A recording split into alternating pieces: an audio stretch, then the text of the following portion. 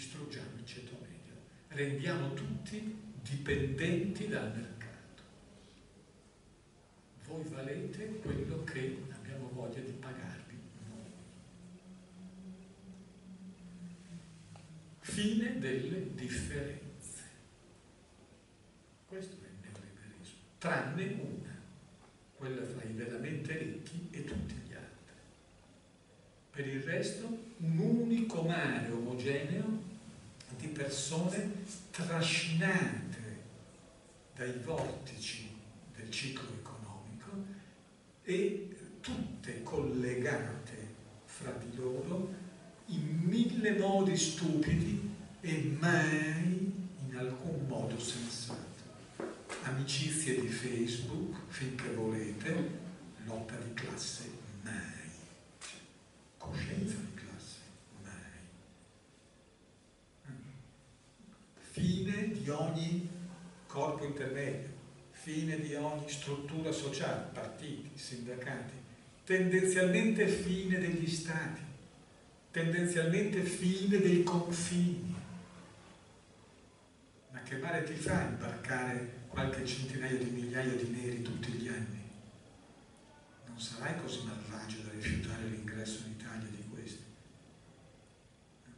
Fine delle differenze di classe.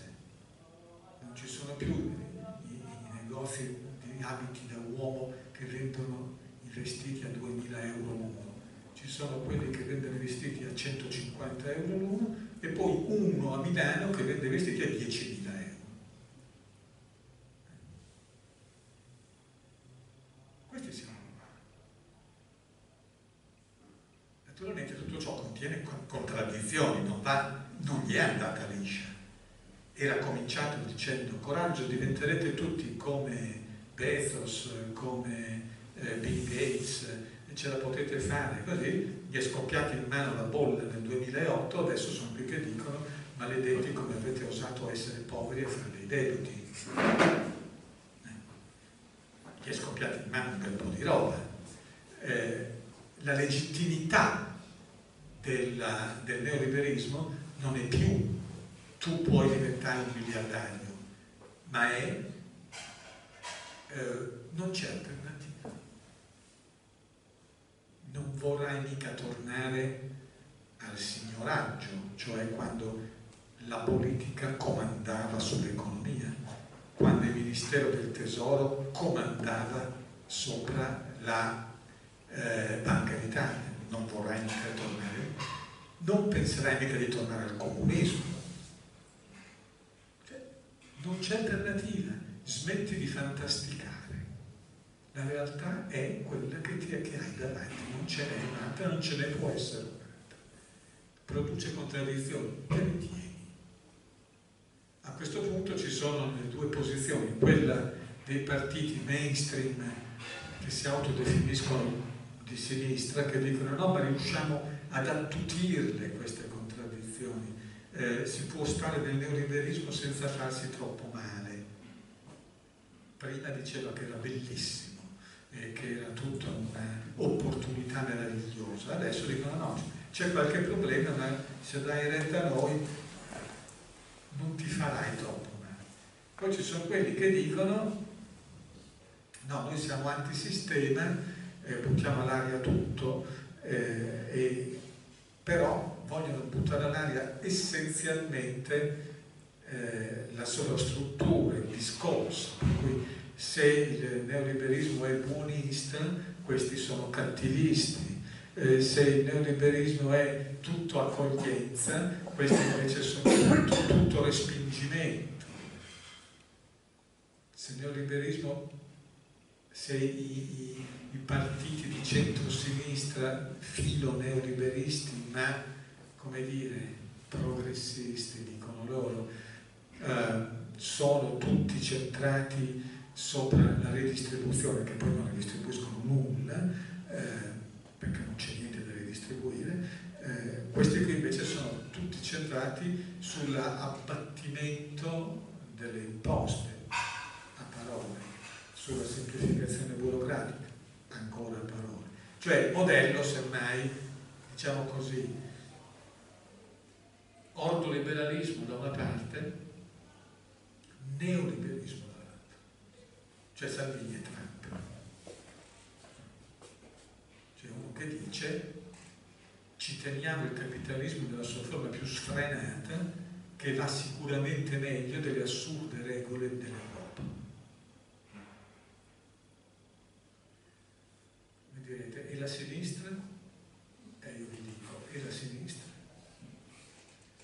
La sinistra si è bevuta tutto, ha accettato tutto, ha detto che era vero, che andava bene così e che la globalizzazione ha fatto tanto bene ai cinesi. E la risposta è ho piacere, naturalmente. Spero che il presidente segretario generale della comunità cinese abbia la stessa considerazione verso di noi che tu hai verso di loro. Sinistra è scomparsa, ha, ha perduto l'idea che fondamentale della sinistra che la società è conflittuale. Non ce l'ha proprio, non ce la può avere, non ce la fa, non ci riesce. Cioè, per uno del PD, un imprenditore un operaio sono uguali.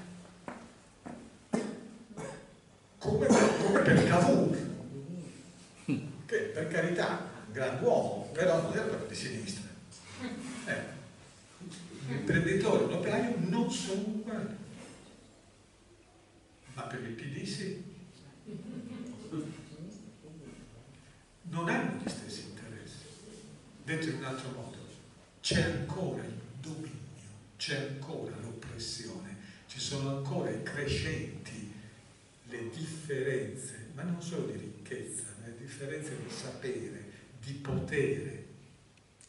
Si è scassato tutto l'ascensore sociale è rotto, il legame sociale non c'è più, la gente è cattiva. Adesso sì che si può dire che è diventata cattiva. Certo, dopo che hai spiegato perché è diventata cattiva e chi l'ha fatta diventare cattiva. È diventata cattiva perché gli hai tolto i diritti. Gli hai detto che capitavano certe cose e non sono capitate. Perché la gente sta peggio di prima e sa che il futuro starà peggio di come sta oggi.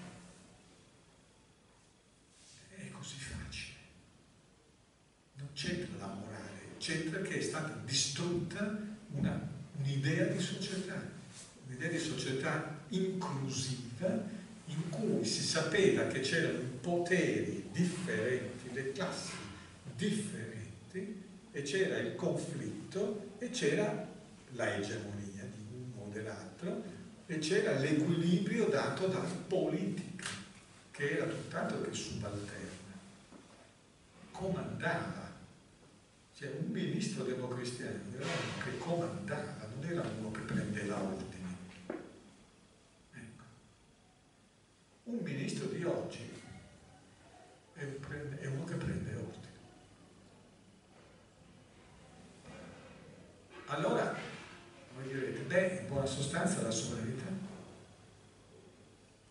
La sovranità diventa un problema quando ci si accorge che con le regole attuali la nostra realtà politica, chiamata Italia, non è più padrona di se stessa.